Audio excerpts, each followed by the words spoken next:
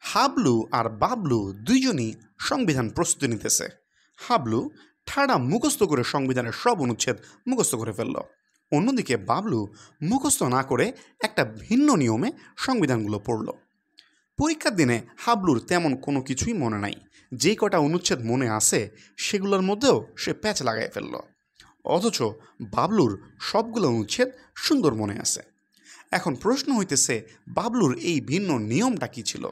সেটাই থাকবে আজকের ভিডিওতে। বাবলু বিভিন্ন ঘটনা কাহিনীর সাথে মিলায়ে বুঝে পড়ার চেষ্টা করছিল সংবিধান। গবেষণায় দেখা যায়, যারা কোনো ঘটনা কিংবা ছবির সাথে মিলায়ে কোনো কিছু পড়ে, তারা বেশি মনে রাখতে পারে। চলুন আমরাও আজকে মনে রাখার মতো করে সংবিধানটা পড়ি।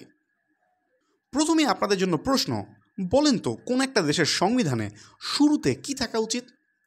কোনো দেশের সংবিধানে শুরুতে থাকা উচিত সেই দেশটার নাম কি আর সেই দেশটা কোথায় আর কতটুকু? আমাদের দেশের সংবিধানও শুরু হয়েছে এই দুটো অনুচ্ছেদ দিয়ে। প্রথম অনুচ্ছেদে আছে আমাদের দেশের নাম, অর্থাৎ প্রজাতন্ত্র। সেখানে বলা আছে আমাদের দেশের নাম হবে গণপ্রজাতন্ত্রী বাংলাদেশ। আর আমাদের দেশের সীমানা আছে অনুচ্ছেদ দুইয়ে। অনুচ্ছেদ দুইয়ের কতে আছে রাষ্ট্রধর্ম। এখন রাষ্ট্রধর্ম সীমানার সাথে সম্পর্কিত, কিন্তু কীভাবে? আমাদের দেশের সীমানা প্রথম ভাগ হয় উনিশশো সাতচল্লিশ সালে ধর্মের ভিত্তিতে। তাই অনুচ্ছেদ দুইয়ে আছে প্রজাতন্ত্রের সীমানা আর দুইয়ের কতে আছে রাষ্ট্রধর্ম। অনুচ্ছেদ তিনে আছে রাষ্ট্রভাষা। আপনারা যদি খেয়াল করেন, আমাদের শহীদ মিনারের মাঝে তিনটা স্তম্ভ। এখান থেকে আপনারা মাথায় রাখতে পারেন, অনুচ্ছেদ তিনে রাষ্ট্রভাষা। অনুচ্ছেদ চারে আছে জাতীয় সংগীত, পতাকা এবং প্রতীক। যে কোনো অনুষ্ঠানে আমার সোনার বাংলা গানের প্রথম চার লাইন বাজানো হয়। এখান থেকে আপনারা মনে রাখতে পারেন অনুচ্ছেদ চারে জাতীয় সংগীত। জাতীয় সংগীত পরিবেশনের বিধান অনুযায়ী কণ্ঠে গাইতে গেলে দশ চরণ আর যন্ত্রসঙ্গীতে বাজাতে গেলে চার চরণ পর্যন্ত বাজাতে হয়। অনুচ্ছেদ চারের কতে আছে জাতির পিতার প্রতিকৃতি।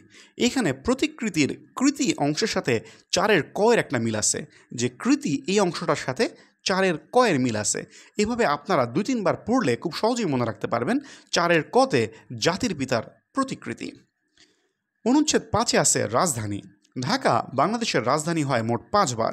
ষোলোশো দশ, ষোলোশো ষাট, উনিশশো পাঁচ, উনিশশো সাতচল্লিশ এবং উনিশশো একাত্তর সালে। এইখান থেকে আপনারা মনে রাখতে পারেন যে রাজধানী ঢাকা হয় মোট পাঁচবার এবং অনুচ্ছেদ পাঁচে আছে রাজধানী।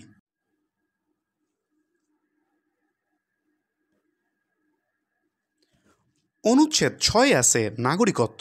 আপনারা যদি খেয়াল করেন, নাগরিকত্ব শব্দটাতে দন্তন্য গ, র, ক, ত এবং ব মোট ছয়টা অক্ষর আছে। এইখান থেকে আপনারা মাথায় রাখতে পারেন যে অনুচ্ছেদ ছয়ে আছে নাগরিকত্ব।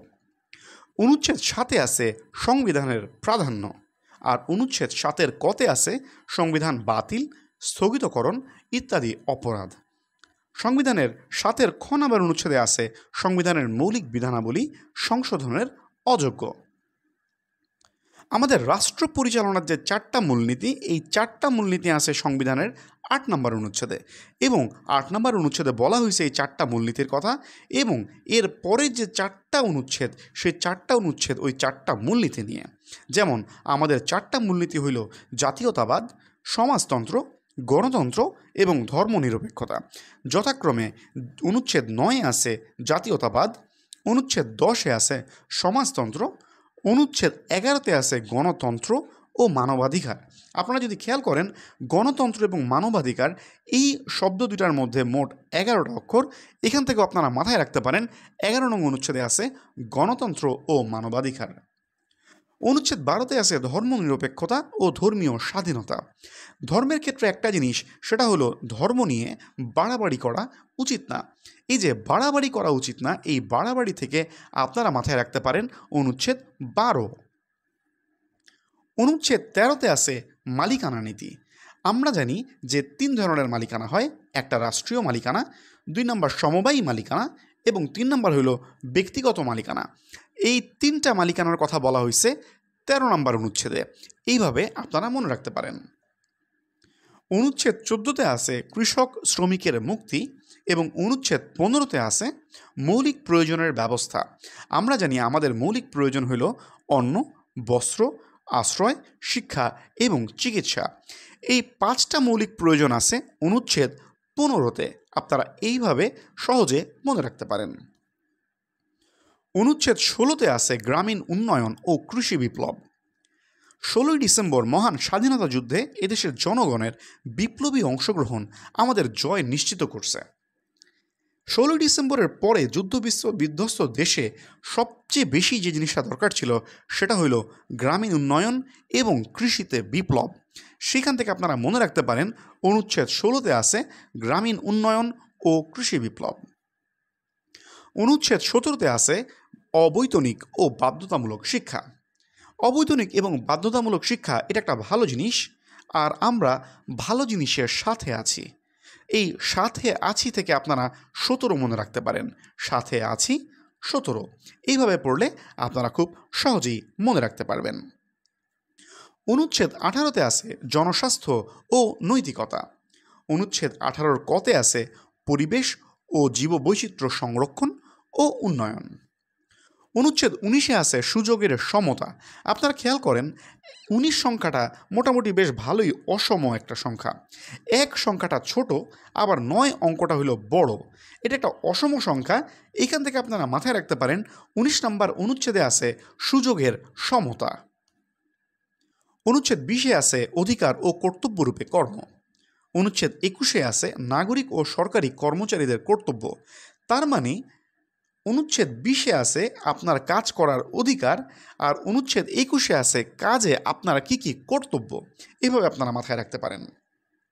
অনুচ্ছেদ একুশের দুইয়ে আছে সকল সময়ে জনগণের সেবা করিবার চেষ্টা করা, প্রজাতন্ত্রের কর্মে নিযুক্ত প্রত্যেক ব্যক্তির কর্তব্য। এই অনুচ্ছেদটা আপনাদের জন্য বেশ গুরুত্বপূর্ণ। অনুচ্ছেদ বাইশে আছে নির্বাহী বিভাগ থেকে বিচার বিভাগ পৃথকীকরণ।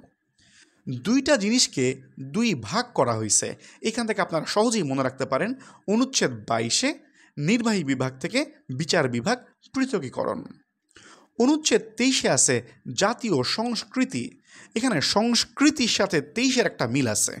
এইভাবে আপনারা মাথায় রাখতে পারেন, অনুচ্ছেদ তেইশ, জাতীয় সংস্কৃতি। অনুচ্ছেদ তেইশের কতে আছে উপজাতি, ক্ষুদ্র জাতিসত্তা, নৃগোষ্ঠী, সম্প্রদায়ের সংস্কৃতি। অনুচ্ছেদ চব্বিশে আছে জাতীয় স্মৃতি নিদর্শন এবং অনুচ্ছেদ পঁচিশে আছে আন্তর্জাতিক শান্তি, নিরাপত্তা ও সংহতির উন্নয়ন। অনুচ্ছেদ সাতাইশে আছে আইনের দৃষ্টিতে সমতা। খেয়াল করেন, সাতাইশে সমতা। এটা যদি আপনারা দুই একবার বলেন যে সাতাইশে সমতা তাহলে দেখবেন খুব সহজেই আপনাদের মাথায় ধরে গেছে যে অনুচ্ছেদ সাতাইশে আইনের দৃষ্টিতে সমতা। এখন সমতা নিশ্চিত করতে হলে কোন কোন ক্ষেত্রে বৈষম্য করা যাবে না, সেটা আছে অনুচ্ছেদ আঠাইশে। অনুচ্ছেদ আঠাইশে আছে ধর্ম প্রভৃতি কারণে বৈষম্য। অনুচ্ছেদ আঠাইশে দুইয়ে আছে রাষ্ট্র এবং গণজীবনের সর্বস্তরে নারী পুরুষের সমান অধিকার লাভ করিবেন। অনুচ্ছেদ একত্রিশে আছে আইনের আশ্রয় লাভের অধিকার। এটা আপনারা কীভাবে মনে রাখবেন? ক্ষমতাবান লোকেরা মনে করে আইনের আশ্রয় লাভের অধিকার একার তার। এই একার তার এখান থেকে আপনারা মাথায় রাখতে পারেন একত্রিশ। মনে করেন মানুষজন রাস্তায় চলাফেরা করতেছে। যখন অনেকগুলা মানুষ একসাথে রাস্তায় চলাফেরা করে, তখন সেটা হয়ে যায় সমাবেশ। আর সমাবেশ থেকে তারা গঠন করতে পারে সংগঠন। আর সংগঠনে তারা নিজেদের চিন্তা, বিবেক, বুদ্ধি এগুলো পরস্পরের মাঝে বিনিময় করে। এবং তারা চিন্তা ভাবনা করে দেখে যে তাদের সংগঠনকে চালানোর জন্য সবারই কিছু না কিছু পেশায় যুক্ত হওয়া প্রয়োজন। এই কথাটা আপনারা যদি সিকুয়েন্সিয়ালি মনে রাখেন, তাইলে দেখবেন সংবিধানের ছত্রিশ নম্বর অনুচ্ছেদে আছে চলাফেরার স্বাধীনতা সাঁত্রিশ নম্বর অনুচ্ছেদে আছে সমাবেশের স্বাধীনতা, আটত্রিশ নম্বর অনুচ্ছেদে আছে সংগঠনের স্বাধীনতা, উনচল্লিশ নম্বর অনুচ্ছেদে আছে চিন্তা, বিবেকের স্বাধীনতা ও বাক স্বাধীনতা। এবং চল্লিশ নং অনুচ্ছেদে আছে পেশা বা বৃত্তির স্বাধীনতা। অনুচ্ছেদ একচল্লিশে আছে ধর্মীয় স্বাধীনতা। তাবলিক জামাতে অনেক মানুষ যায় এবং আপনারা জানেন যে চল্লিশ দিনে এক চিল্লা হয়। এই যে চল্লিশ দিন এক চিল্লা, এখান থেকে আপনারা মাথায় রাখতে পারেন একচল্লিশ। অর্থাৎ একচল্লিশ নম্বর অনুচ্ছেদে আছে ধর্মীয় স্বাধীনতা। অনুচ্ছেদ আটচল্লিশে আছে রাষ্ট্রপতি অনুচ্ছেদ উনপঞ্চাশে আছে রাষ্ট্রপতির ক্ষমা প্রদর্শনের অধিকার। অনুচ্ছেদ পঞ্চান্নতে আছে মন্ত্রিসভা এবং এখানে টেকনোক্রেট মন্ত্রী সম্পর্কেও বলা আছে। অনুচ্ছেদ উনষাটে আছে স্থানীয় শাসন। অনুচ্ছেদ সত্তরে আছে ফ্লোর ক্রসিং, অর্থাৎ সংসদে নিজ দলের বিপক্ষে যদি কেউ ভোট দেয়, তাহলে তার সংসদ সদস্য পদ বাতিল হয়ে যাবে। অনুচ্ছেদ সাতাত্তরে আছে ন্যায়পাল। অনুচ্ছেদ একাশিতে আছে অর্থ বিল অনুচ্ছেদ সাতাশিতে আছে বার্ষিক আর্থিক বিবৃতি, যেটা হচ্ছে বাজেট। বাজেট যখন উত্থাপন করা হয়, তখন সবাই সমর্থন করে। তার মানে বলে, সবাই সাথে আছি। এই সাথে আছি, এখান থেকে আপনারা মতের মনে রাখবেন সাতাশি। অর্থাৎ অনুচ্ছেদ সাতাশিতে আছে বার্ষিক আর্থিক বিবৃতি। অনুচ্ছেদ তিরানব্বই আছে অধ্যাদেশ প্রণয়ন ক্ষমতা। অনুচ্ছেদ চুরানব্বই আছে সুপ্রিম কোর্ট। অনুচ্ছেদ একশো সতেরোতে প্রশাসনিক ট্রাইব্যুনাল সমূহ এই যে সমূহ মানে একসাথে অনেক কিছু, এখান থেকে আপনারা মনে রাখতে পারেন একশো সতেরো, একসাথে অনেক কিছু।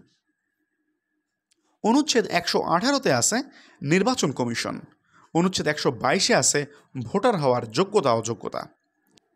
অনুচ্ছেদ একশো সাতাইশে আছে মহা হিসাব নিরীক্ষক। অনুচ্ছেদ একশো সাঁত্রিশে আছে, সরকারি কর্ম কমিশন সাঁত্রিশতম বিসিএস এই প্রশ্নটা আসছিল, এখান থেকে আপনারা মাথায় রাখতে পারেন, অনুচ্ছেদ একশো সাঁত্রিশ হলো সরকারি কর্ম কমিশন অনুচ্ছেদ একশো একচল্লিশের কতে আছে জরুরি অবস্থা। জরুরি অবস্থায় আমাদের সবাইকে একা একা চলতে হয়। এই যে একা একা চলতে হয়, এখান থেকে আপনারা মাথায় রাখতে পারেন, একশো একচল্লিশের ক জরুরি অবস্থা। অনুচ্ছেদ একশো বিয়াল্লিশে আছে সংবিধানের সংশোধন।